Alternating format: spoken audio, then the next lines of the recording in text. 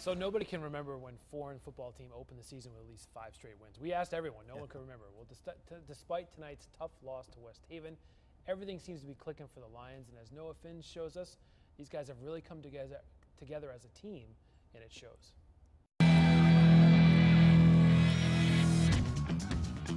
We're having loads of fun. Well, that's what happens when you win games, and Foran is winning plenty of games. School's all excited, you know, and uh, I mean, really, I'm getting phone calls from people, congratulations, and you know, and I just say, hey guys, I tell you, we, we've been coaching the same way for the last for the last nine years. Our kids are just playing better. It's awesome. Like I, you can't even explain it. It's it's great. Like having, especially with all your friends. I mean, high school football is the best. There are coaches here on this team who have been around over 30 years, and not even they can remember a Foran team with this good a start to the season.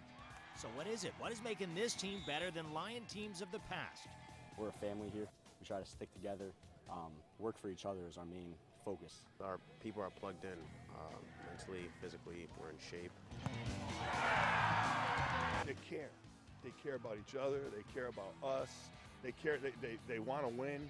You know, and it's uh, again, it's it's such a, a great group of kids. They enjoy each other.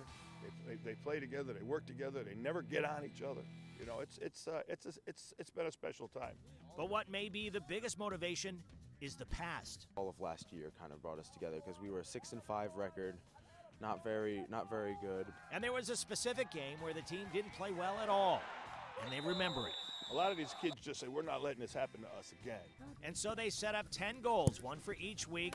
The 11th goal being a trip to the playoffs. That's a big motivating factor. I mean, that's a huge goal for us is to make playoffs, and uh, it, we haven't made it in a while. It's been over 10 years, but the Lions are on track now, doing it as a team and loving every second of it.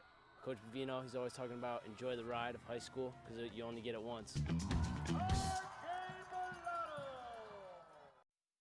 All right, so Foran will host East Haven next Friday night. Then Hill House and North Haven will visit Milford. And then they end the season at Jonathan Law. So they're five and one mm-hmm. with four games to play. What do you think? I think there's three wins in there. I think it's an I eight and two year and a playoff team probably. Yeah. First time in a long time.